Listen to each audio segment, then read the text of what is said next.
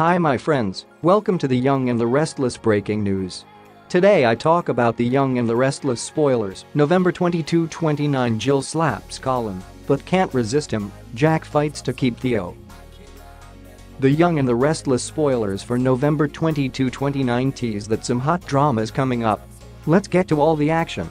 First Devon Hamilton will be feeling overwhelmed by this whole will mess. Elena Dawson will point out that Devon doesn't know for sure he was scammed.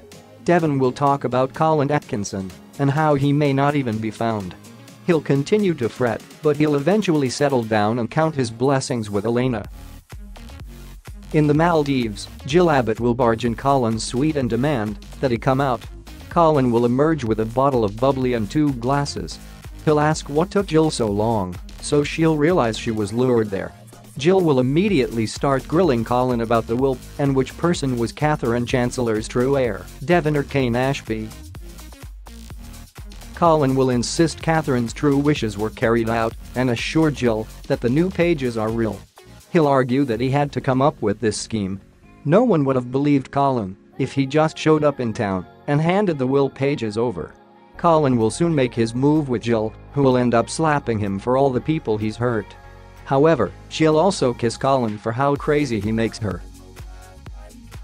Of course, Colin can't be trusted. He'll prove that by telling a different story soon enough. By the time next week rolls around, Colin will argue that it's a scam and will implicate Kane.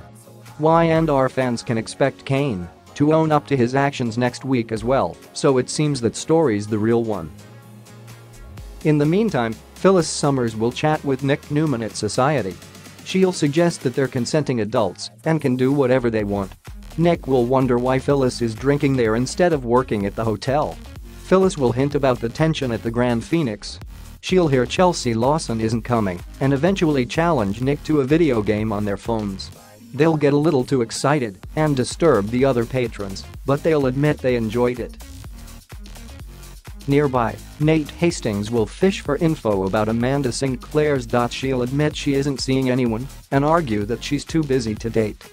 Nate will reflect on his experience with Abby Newman and suggest he's learned to listen when a woman says that. Amanda will ponder what Devon would think if she did start dating Nate. He'll suggest Amanda should stick around Genoa City and she'll later let him know she values their friendship. They'll share a goodnight hug as they part ways.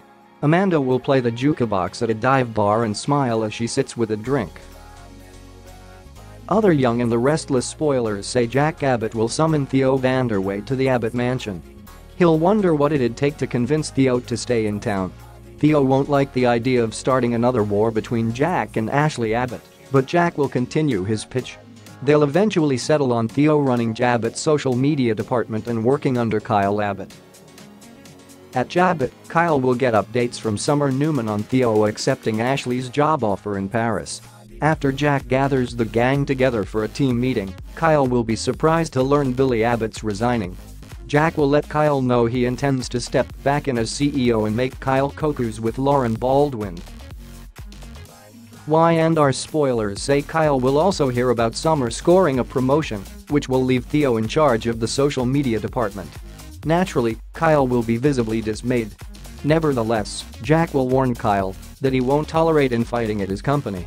Back with Theo, he'll fill Summer in on his change of plans and leave her worried about him butting heads with Kyle. Theo will at least be excited about being at the office with Summer. Finally, the young and the restless spoilers say Nick will hear from Chelsea, who will text to say she's spending the night at Adam Newman's place. Chelsea will feel like she needs to be there for Connor Newman's sake. In fact, we know she'll be packing a bag and essentially moving in soon. What do you think about this video? Please comment below this video, thanks for watching, and don't forget subscribe my channel. Goodbye see you next video.